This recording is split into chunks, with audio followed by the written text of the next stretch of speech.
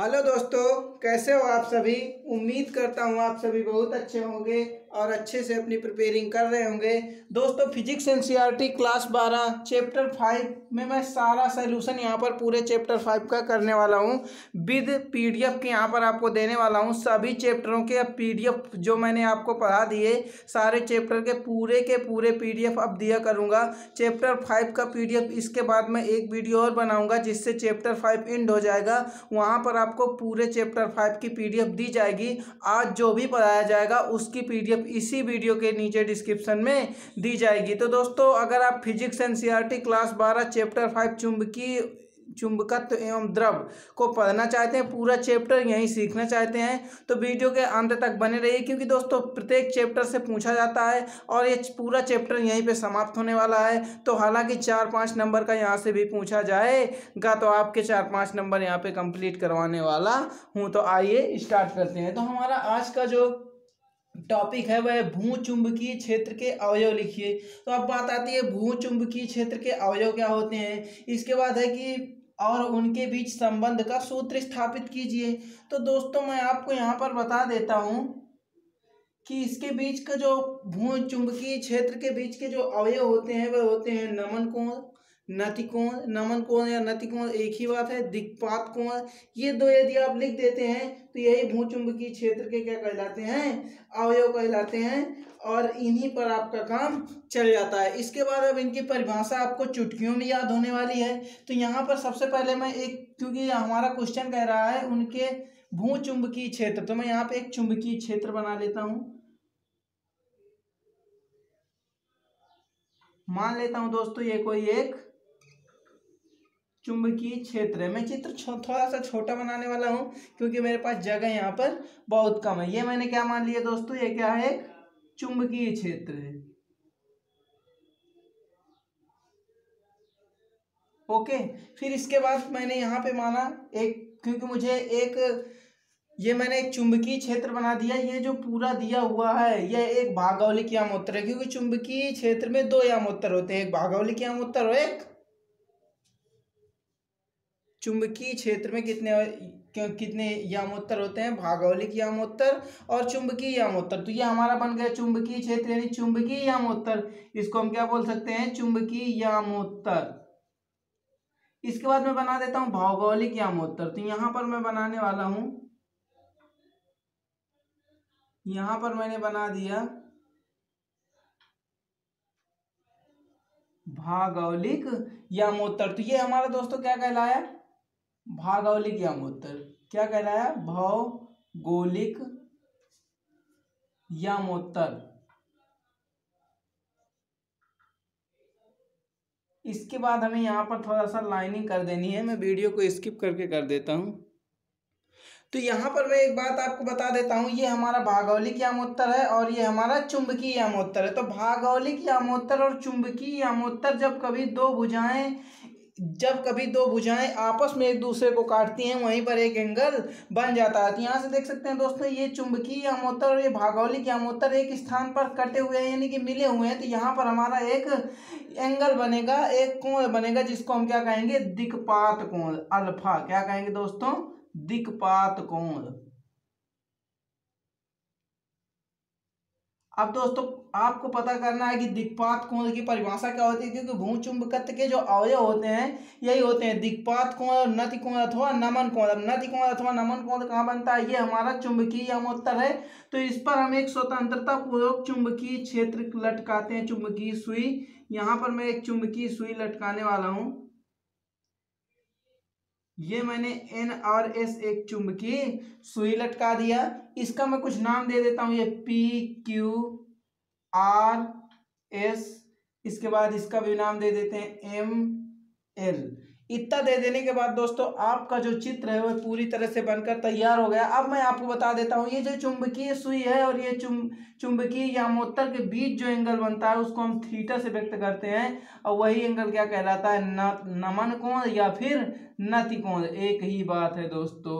तो दोस्तों, यहाँ पर मैंने आपको नमन कोण और नति कोण कहाँ पर बनते हैं, ये बता दिया। आप नमन कोण और नति कोण और या फिर दिक्पात कोण इन दोनों की परिभाषाएँ यहाँ पर समझाने वाला हूँ। और लिंक इसकी डिस्क्रिप्शन में भी आप देख लीजिएगा, मिल जाएगी।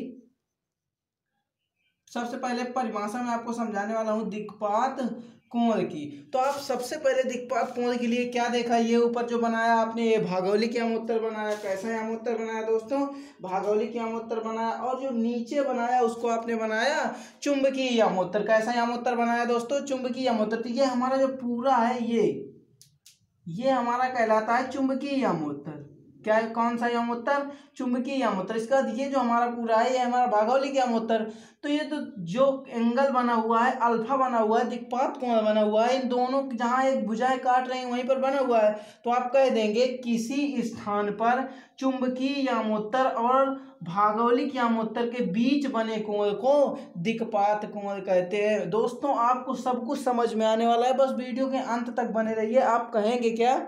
बस सिंपल सा आपको कहना है, ये देख सकते हैं भागौलिक यामोत्तर मैंने आपको बताया चुंबकीय क्षेत्र में दो यामोत्तर होते हैं, एक चुंबकीय यामोत्तर और एक भागौलिक यामोत्तर तो जहाँ पर चुंबकीय यामोत्तर और भागौलिक यामोत्तर आपस में मिलते हैं, वहीं पर दिक्पात कोण का निर्माण हो जाता है। तो वहीं पर जब दिक्पात कोण का निर्माण हो जाएगा तो इसकी परिभाषा हो जाएगी किसी स्थान पर चुंबकीय यामोत्तर और भागौलिक यामोत्तर के बीच बने कोण को दिक्पात कोण अल्फ़ा कहते हैं। ये हुई दोस्तों दिक्पात कोण की उम्मीद है आपके समझ में आई होगी। इसमें कोई कोई बंदा कमेंट करता है कि मुझे समझ में नहीं आया तो मैं उससे पूछना चाहूँगा, क्या समझ में नहीं आया? मैंने आपको ये बता दिया, चुंबकीय क्षेत्र में दो यामोत्तर होते हैं कि चुंबकीय यामोत्तर हो गए और ये भागौलिक यामोत्तर हो गए। इनके बीच में अल्फ़ा जो कोण बनता है, वो दिक्पात कोण कहलाता है। तो इसकी परिभाषा हो जाएगी किसी स्थान के पर भागौलिक यामोत्तर और ये चुंबकीय यामोत्तर के बीच बने कोण को, क्या कहते हैं? दिक्पात कोण कहते हैं। अब बात कर लेते हैं नथ कोण अथवा नमन कोण, की किसकी दोस्तों? नति कोण अथवा नमन कोण। वीडियो को दोस्तों लाइक करना बिल्कुल भी मत भूला करिए। और चैनल पर पहली बार आए हो तो यार सब्सक्राइब ज़रूर करिएगा, क्योंकि आपके एक लाइक से मैं मोटिवेट होता हूँ। तो दोस्तों, मैं आपको बताना चाहता हूँ, ये आप देख सकते हैं, ये नति कोण है। और ये जो हमारा, ये है, ये हॉरिजेंटल है, यानी कि कौन सा? क्षैतिज घटक है। इसको हम बी एच से प्रदर्शित करेंगे, किससे? एच बी होता है चुंबकीय क्षेत्र, आप जानते हैं तो ये हो गया बी चुंबकीय क्षेत्र। अब ये ऊपर का जो घटक है, ऊर्ध्वाधर घटक है, ऊर्ध्वाधर होता है हॉरिजेंटल तो हॉरिजेंटल का हम पहला अक्षर ले लेंगे एच तो ये हमारा क्या कहलाएगा? ऊर्ध्वाधर घटक, चुंबकीय क्षेत्र का ऊर्ध्वाधर घटक। इसके बाद हम ये जो देखेंगे सॉरी ये क्षैतिज घटक हॉरिजेंटल मीन्स होता है क्षैतिज घटक। ये हमारा होता है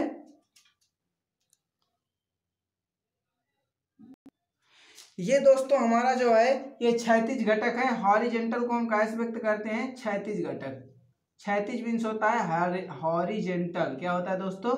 हॉरिजेंटल तो इसे हम कह देंगे क्षैतिज घटक। तो हमारा एच होता है जो हॉरिजेंटल होता है हॉरिजेंट हॉरिजेंटल मीन्स क्षैतिज होता है और बी होता है जो चुंबकीय क्षेत्र होता है। इसलिए आप इस, इसको बोलेंगे चुंबकीय क्षेत्र का क्षैतिज घटक। इसके बाद ये जो हमारा होता है, ये वाली लाइन जो आप देख रहे हैं, ये होता है इसके बाद मैंने बात कर लिया अभी छैतीस घटक की तो ये हमारा क्या हो जाएगा? हॉरिजेंटल यानी कि छैतीस घटक। इसके बाद ये भी हमारा चुंबकीय क्षेत्र है। मैंने आपको बताया था ये हमारा क्या है? चुंबकीय क्षेत्र है। तो ये भी चुंबकीय क्षेत्र था, परंतु ये हॉरिजेंटल था पृथ्वी से ज्वाइन हुआ था, इसलिए इसको हम बोले थे हॉरिजेंटल छैतीस घटक। अब इसके बाद ये जो हमारा है, ये होता है ऊर्ध्वाधर घटक। कौन सा घटक दोस्तों? ऊर्ध्वाधर घटक। अब ऊर्ध्वाधर को वी से व्यक्त करते हैं और वी से क्यों व्यक्त करते हैं? ये भी मैं आपको बता देता हूँ क्योंकि वर्टिकल वर्टिकल मीन्स होता है ऊर्ध्वाधर। क्या मीन्स होता है दोस्तों? ऊर्ध्वाधर वर्टिकल मीन्स तो वर्टिकल का मैं वी पहला ले लेता हूँ तो बी वी हो जाएगा। क्या हो जाएगा? बी वी तो इसको बोलेंगे आप चुंबकीय क्षेत्र का कौन सा घटक? ऊर्ध्वाधर घटक। यहाँ पर मेरे पास स्थान कम है, इसलिए मैं यहाँ पर नहीं लिखने वाला। इसके बाद अब आप बात आती है नति कोण की परिभाषा कैसे लिखें? तो यहाँ से आप बोलेंगे किसी स्थान पर, क्या बोलेंगे? किसी स्थान पर यहाँ पर देख सकते हैं किसी स्थान है। तो ये हमारा क्या है दोस्तों? क्षैतिज घटक। तो और ये जो हमारी है पृथ्वी की एक चुंबकीय सुई लटकाई हुई है तो हम इसको बीई बोल देंगे। ई अर्थ अर्थ मीन्स क्या होती है? पृथ्वी। इसलिए इसको बोल देंगे चुंबकीय क्षेत्र, पृथ्वी का चुंबकीय क्षेत्र। क्योंकि हमने चुंबक बनाया है एन इसलिए इसको बोल दिया बीई इसके बाद आप बोलेंगे कि किसी स्थान के क्षैतिज घटक और पृथ्वी पर लटकाई गई सुई के बीच बने कोण को नति कोण अथवा नमन कोण कहते हैं। उम्मीद है दोस्तों, ये परिभाषा भी आपके समझ में आ गई होगी। बस आपको कहना क्या है, ये आप हॉरिजेंटल है, मैं बड़ी देर से आपको समझा रहा हूँ। ये हॉरिजेंटल क्षैतिज घटक है और ये पृथ्वी पर चुंबकीय सुई लटकाई गई है। तो यहाँ से आप कहेंगे, पृथ्वी का किसी स्थान पर क्षैतिज घटक और पृथ्वी का चुंबकीय चुंबकीय क्षेत्र जो स्वतंत्रता कोणों के एक सुई लटकाई गई है, उसके बीच जो कोण बनता है थीटा है, क्या कहलाता है? नति कोण अथवा नमन कोण। तो उम्मीद करता हूँ कि नति कोण दिक्पात कोण आपको क्लियर हो गए होंगे। अब आ जाते हैं इसके डेरिवेशन पर बात कर लेते हैं। अब हमको क्या करना है यहाँ से? डेरिवेशन करना है। तो सबसे पहले मैं बता देता हूँ आपको, ये यहाँ तक का बी एच है तो ये भी हमारा क्या होगा? बी एच ही होगा। इसके बाद ये हमारा बीवी है तो ये भी हमारा बीवी वी ही होगा। वी मतलब वर्टिकल वर्टिकल का मतलब होता है ऊर्ध्वाधर और एच मतलब हॉरिजेंटल हॉरिजेंटल का मतलब होता है क्षैतिज और ई मतलब होता है अर्थ अर्थ का मतलब होता है पृथ्वी। तो यहाँ से हम सबसे पहले देख सकते हैं, ये हमारे दो एंगल दिखाई दे रहे हैं। यहाँ से एक ये एंगल बन रहा है। तो यहाँ से हम सबसे पहले वैल्यू निकाल लेंगे साइन थीटा की। किसकी दोस्तों? साइन थीटा की। तो हमारा साइन थीटा बराबर फाइनली क्या निकल कर आएगा? फार्मूला होता है लंब बटे के कर्ण तो ये हमारा दोस्तों लंब कहलाएगा और ये हमारा पृथ्वी है। तो ये हमारा क्या कहलाएगा? आधार कहलाएगा और ये क्या कहलाएगा? कर्ण कहलाएगा। तो लंब बटे का तो लंब की वैल्यू क्या है दोस्तों? बीवी क्या है? बीवी, यहाँ तक की वैल्यू क्या है? बीवी। इसके बाद कर तो कर हमारा यही होगा और इसकी एक क्या है? पृथ्वी का चुंबकीय क्षेत्र। ये पृथ्वी की चुंबकीय क्षेत्र की सुई लटकाई गई तो पृथ्वी के चुंबकीय क्षेत्र को मैंने कैसे व्यक्त किया? बीई से। क्यों व्यक्त किया? ये भी मैंने आपको समझा दिया अब यहाँ से जब बीवी इक्वल टू आप मान निकालेंगे तो निकल के आ जाएगा बीई साइन थीटा इसको हम मान लेंगे क्वेश्चन नंबर फ़र्स्ट इसके बाद आप निकालेंगे कास थीटा का मान। तो यहाँ से जब हम कास थीटा का मान निकालेंगे तो हो क्या जाएगा? कास थीटा इक्वल टू चूँकि होता है आधार बटे करना और आप ये एक बात जानते होंगे कि जो थीटा यानी कि एंगल की सामने वाली जो भुजा होती है, उसको हमेशा हम लंब मानते हैं। तो यहाँ से जो मैंने कास थीटा जब लिया तो कास थीटा बराबर हमारा होता है आधार बटे के कर्ण। तो हमारा ये सामने वाली जो भुजा होगी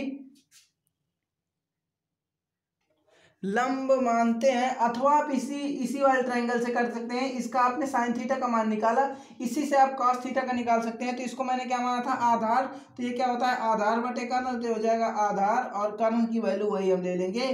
पृथ्वी का चुंबकीय क्षेत्र यानी कि बीई उम्मीद है दोस्तों, इतनी चीज़ आपके समझ में आ गई होगी। यहाँ से मैं बी एच की वैल्यू फाइंड कर लूँगा। तो यहाँ से हमें निकल के आ जाएगा बीई कास थीटा क्या निकल के आ जाएगा दोस्तों? बीई कास थीटा इसे मैं मान लूँगा ये क्वेश्चन नंबर सेकेंड इसके बाद हम समीकरण एक और दो का भाग दे देंगे, क्योंकि जो हमारा फार्मूला होता है, वह होता है ऊर्ध्वाधर बटे क्षैतिज। ऊर्ध मीन्स ऊपर। ऊर्ध मीन्स क्या कहेंगे दोस्तों? याद करने की ट्रिक ऊर्ध मीन्स ऊपर, यानी ऊर्ध्वाधर बटे क्षैतिज होता है। सवाल आपके आते हैं कभी कभार बाद में बताता हूँ इसकी बात। तो हम पहले नंबर क्या करेंगे? एक समीकरण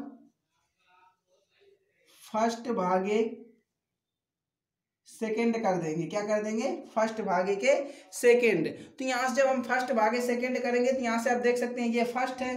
तो मैंने यहाँ पे बी वी लिख लिया। इसके बाद ये सेकेंड है। तो इसको मैंने बी एच लिख लिया। इसके बाद इक्वल का साइन लगा दिया। अब इसके बाद यहाँ से हम देखेंगे बी ई साइन थीटा तो ये हमारा हो जाने वाला है बी ई साइन थीटा और भाग काय में देना है सेकेंड समीकरण तो सेकेंड समीकरण हमारा बी ई कास थीटा तो ये हमारा क्या हो जाने वाला है? बी ई कास थीटा अब ये हमारा बी ई से बी ई कैंसिल हो जाएगा और ये साइन अपॉन कास होता है टेन थीटा क्या होता है दोस्तों? टेन थीटा तो टेन थीटा बराबर निकल आएगा बी वी अपान में। बी एच अगर ये फार्मूला आपको याद रहता है तो अच्छी बात है। अगर नहीं याद रहता तो इसके लिए मैं आपको एक ट्रिक बता देता हूँ। टेन थीटा बराबर फार्मूला होता है ऊर्ध्वाधर बटे छैतीस कैसा फार्मूला होता है? ऊर्ध्वाधर ऊर्ध्वाधर घटक बटे छैतीस घटक। मेरे कहने का मतलब ये। तो अब आप को जैसे इंग्लिश टू इंग्लिश फार्मूला नहीं है तो आप इसे हिंदी में कैसे? उर्द मीन्स ऊपर, यानी ऊपर क्या होता है? ऊर्ध्वाधर होता है। नीचे कौन सा हो जाएगा? क्षतिज हो जाएगा। इससे आपको याद बना रहेगा। अब मेरे ख्याल से चित्र का कोई काम नहीं बचा तो चित्र मैं यहाँ पर मिटा लेता हूँ और फिर इसके बाद आपसे बात करता हूँ। तो यहाँ पर टेन थीटा बराबर B V upon B H मैंने निकाल दिया है। इसके बाद इसी क्वेश्चन नंबर फ़र्स्ट और इसी क्वेश्चन नंबर सेकंड को वर्क करके हम जोड़ देंगे। क्या करेंगे दोस्तों? एक बार मैंने समीकरण एक और समीकरण दो का भाग दे दिया। इसके बाद तीसरे नंबर पर मैं क्या करूँगा? समीकरण एक, समीकरण फ़र्स्ट का स्क्वायर करूँगा और प्लस कर दूँगा समीकरण नंबर सेकेंड का स्क्वायर करके। तो दोस्तों, यहाँ से जब मैं फाइनली समीकरण फ़र्स्ट का स्क्वायर करूँगा तो यहाँ से मेरे पास हो जाएगा बी वी का होल स्क्वायर और प्लस करना चूँकि। तो अब ये वाला समीकरण भी लूँ, क्योंकि एक तरफ़ के पहले जो लेते हैं, फिर इक्वल का साइन लगाते हैं इक्वल के बाद, और ये जो दोनों तरफ़ के होंगे, ये एक तरफ़ के, इनको ऐड कर लेंगे। तो पहले वाला ये था दूसरा वाला ये तो बी एच का होल स्क्वायर फिर इसके बाद इक्वल का साइन लगाएँगे और फिर इसके बाद यहाँ पे क्या दिया था? बी ई साइन थीटा तो कर लेंगे बी ई का स्क्वायर होल स्क्वायर कर लेते हैं इंटू में साइन स्क्वायर थीटा और प्लस यहाँ आप देख सकते हैं बी ई का स्क्वायर और कास स्क्वायर थीटा हो जाएगा। तो ये क्या हो जाएगा? बी ई का होल स्क्वायर और इंटू में कास स्क्वायर थीटा इसके बाद यहाँ से मैं बीई का स्क्वायर जो है, क्या ले लूँगा? कॉमन ले लूँगा। क्या ले लूँगा दोस्तों? कॉमन ले लूँगा। अब कॉमन क्यों ले लूँगा? सारा प्रोसेस आपके समझ में आने वाला है। बस आप वीडियो के अंत तक बने रहिए। तो यहाँ से मैंने बीई का स्क्वायर जब कॉमन ले लूँगा तो हो क्या जाएगा? फाइनली यहाँ से हो जाएगा बीवी का स्क्वायर उसी प्रकार प्लस बी एच का स्क्वायर और इक्वल टू में इधर से बी ई का स्क्वायर कॉमन ले लूँगा।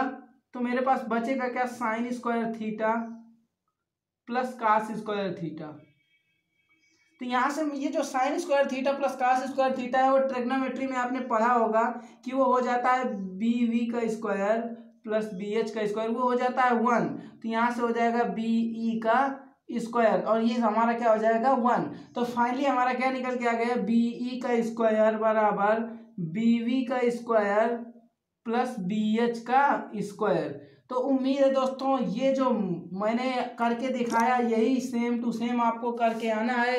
आपको इसमें अगर ये इतना कर देते हैं तो पाँच मार्क आपको मिल जाते हैं। ज़्यादा टाइम आपको नहीं लेना है। इसमें आपको पाँच मार्क, इससे क्वेश्चन हंड्रेड परसेंट आएगा, या फिर दो मार्क का नमन कौन आ सकता है, दिक्पात कौन आ सकता है, या फिर ये आ सकता है। इसकी जो पीडीएफ लिंक होगी वह डिस्क्रिप्शन में डालने की कोशिश करूँगा। तो आज के लिए बस इतना ही। मिलते हैं नेक्स्ट वीडियो में। तब तक के लिए गुड बाय।